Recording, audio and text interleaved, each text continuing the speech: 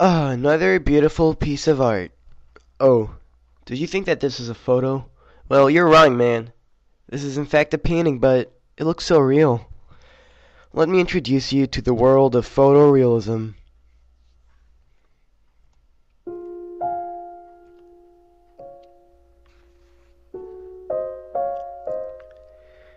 It's a genre of painting that started in the United States during the late 1960s and early 1970s. It evolved from pop art and was also as a reaction to abstract expressionism and minimalism. The two leading artists who helped define photorealism at the time were Richard Estes and Chuck Close. Estes specialized in photorealistic paintings of street scenes, while Close was famous for his paintings of large portraits of usually expressionless faces. Photorealistic paintings are very simple. Basically, the artist would take a photo and copy every bit of it on another surface. Most of the time, the photos weren't even very exciting ones, just bland, everyday life kinds of photographs, traced again using paint. Now, as I was working on this video, I started to question myself. Why would anybody spend months copying a photograph that's already there? I mean, the artist does nothing to add to the painting or give any meanings to it. I mean, sure, they require a lot of patience and technical skill, but none of those paintings seem to ever touch me emotionally. So I was exploring the web for an answer, and well, I found one that vaguely made any sense. It was by About.com user Starpoint. He or she said, Photorealistic paintings are more real than that of photo.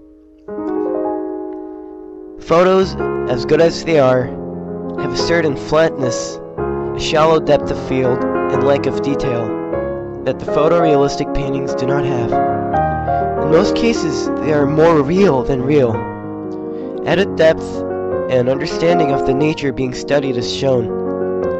Often there are layers and layers of information in these paintings, and each artist has his or her own version of what is real and what is imagined.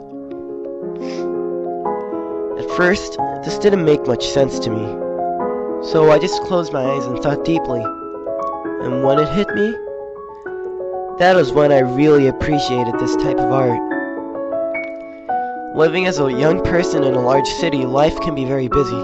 Heck, life can be busy and difficult for anybody, if not everybody on this planet. Though we may not notice it, photos take a large portion of our lives. Everywhere we go, on advertisements, on TV, on the internet, we see photos, photos, photos. Photos of cats, photos of buildings, photos of life. A single photo holds many words, a story. Everything is captured, every little bit even the last memories of the ones we truly loved. But the photographs, the snapshots of our lives, are merely just a flat image on a piece of paper. There is no depth, there is nothing much to explore, really. But the paintings were done by a person who feels emotions, who poured their emotions and effort into recreating that one moment in their life. With every stroke of their paintbrush, they are talking to us. We may not be able to see it from a distance, but the painting whispers into our ears, you know. When the photo is taken, how and why.